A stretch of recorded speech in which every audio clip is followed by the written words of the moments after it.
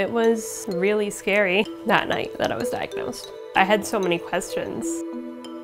My name is Jenni Tucker. I'm 22 years old and I have non-alcoholic steatohepatitis, aka NASH.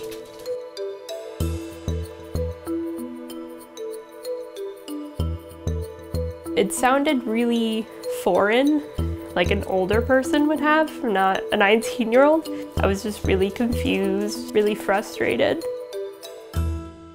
My doctor decided to send me to a liver specialist to really figure out what's going on. That came back stage three NASH. I learned that treatment for this disease is basically diet and exercise. We started to see changes. We started to see the weight come off. I started to get color in my face. I wasn't so pale. I had like so much energy. And I was like, oh, this is how everyone else feels.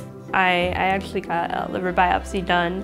It came back as stage one instead of stage three. I'm really curious to know what's gonna be the future of NASH. Can we come up with some kind of medication treatment?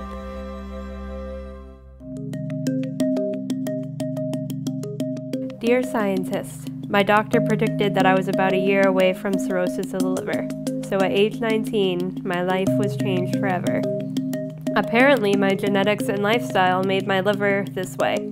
I had to unlearn what I knew about food and change how I'd done things my entire life. Knowing I was diagnosed early enough to reverse the damage, my parents and I decided to take better strides for our health. But once I took hold of my health, I had so much energy.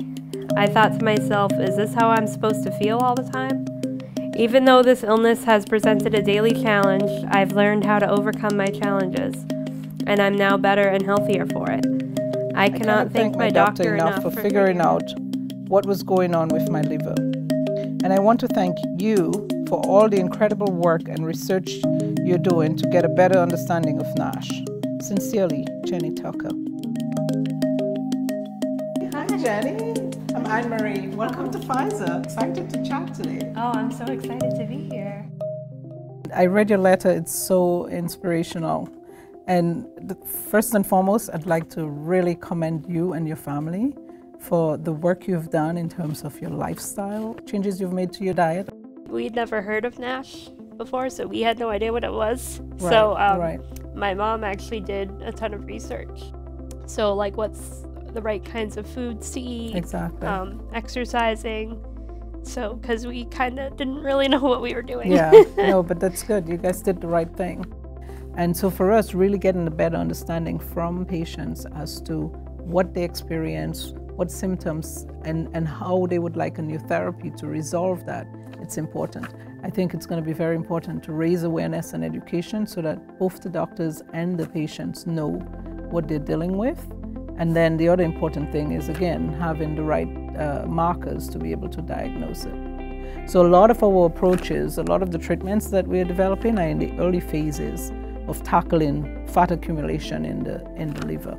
The science is evolving very rapidly and we are understanding a lot more about the etiology of the disease, uh, what causes the disease, but we feel like we also need to understand it from your perspective, right? So tell me, what would you like me to tell our scientists? When you get a liver biopsy, I've had two of them. You have to be on bed rest for days. It can be painful. So if we could find a way to diagnose someone without having to go through that, right. that would be a big help. Well, that's a very important point to try to develop these non-invasive uh, markers to be able to diagnose NASH um, and, and not have you go through the pain. Um, so I'm hoping that we will come up with something soon, um, some method of diagnosing, maybe just a blood test um, that will allow them to diagnose NASH. It's two-way.